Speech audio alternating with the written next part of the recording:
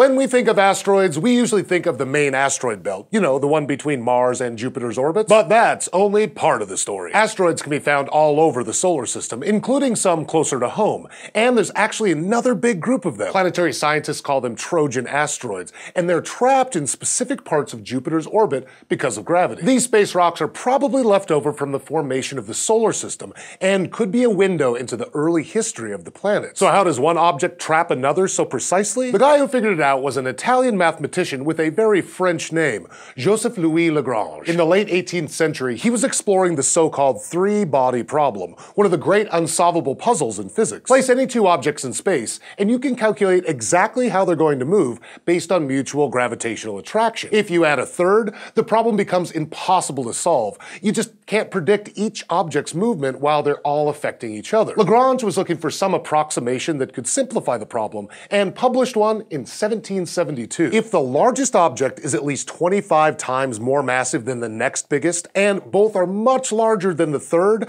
the three-body problem becomes solvable. This is true, for example, when you have a satellite moving under the influence of the Earth and the Moon. And the solution that Lagrange found based on these conditions was really neat. There are two places where the tiny object would be orbiting motionless relative to the larger two, just kind of in sync with them. And if the tiny object is nudged away, the orbit's Coriolis force kicks in and brings it back, the same force that causes hurricanes to spin here on Earth. These regions, along with three others that were found separately, are called the Lagrange points. Astronomers realized their significance right away.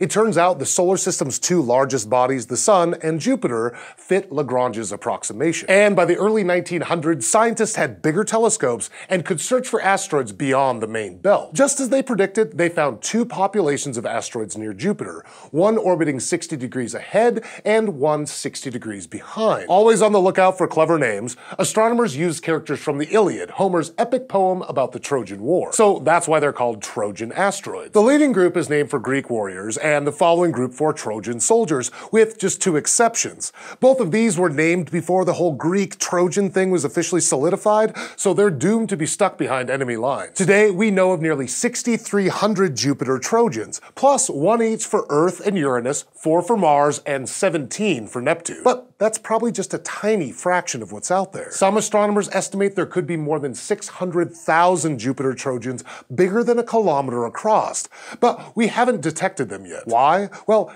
Asteroids are really dim and difficult to observe because they're far away and have dark surfaces. Since Trojans are even farther than the main belt, they're just that much harder to detect. Scientists still debate how Jupiter trapped so many asteroids, but they do think these objects could be remnants from the early solar system. One theory says that when the sun was forming four and a half billion years ago, it was surrounded by a disk of objects called planetesimals. Some planetesimals kept growing and formed into the inner planets and the cores of the outer ones, while others could have been been trapped in Jupiter's Lagrange points, where they stayed ever since. And some hypotheses of solar system formation suggest that the giant planets actually moved to get to their current locations, meaning Jupiter would have brought its Trojans along too. Even though we've talked about asteroids so far, the term Trojan can be used for any object caught in stable Lagrange points. Saturn, for example, hasn't trapped any known asteroids, but it is home to four tiny Trojan moons. The planet's large moons Tethys and Dione both have a pair of small icy satellites, the only Trojan moons that we know of in the whole solar system. And scientists are looking to learn more. NASA is evaluating five proposals for its next low-cost Discovery-class mission, which could launch as early as 2020. One's named Lucy, after the fossilized skeleton that helped reveal parts of our history, and hopes to do the same for our solar system, by traveling to the orbit of Jupiter to explore some of its Trojans for the first time. Since these objects could be some of the building blocks of our solar system, knowing more about them could help us learn what it was like when the planets were born. Thanks for watching this episode of SciShow Space, and thanks especially to our patrons on Patreon Patreon who help make this show possible. If you want to help us keep making episodes like this, just go to patreon.com slash scishow to learn more. And don't forget to go to youtube.com slash scishow and subscribe. Galileo reported winds of 700 kilometers an hour as it descended through layers of ammonium hydrosulfide. And scientists...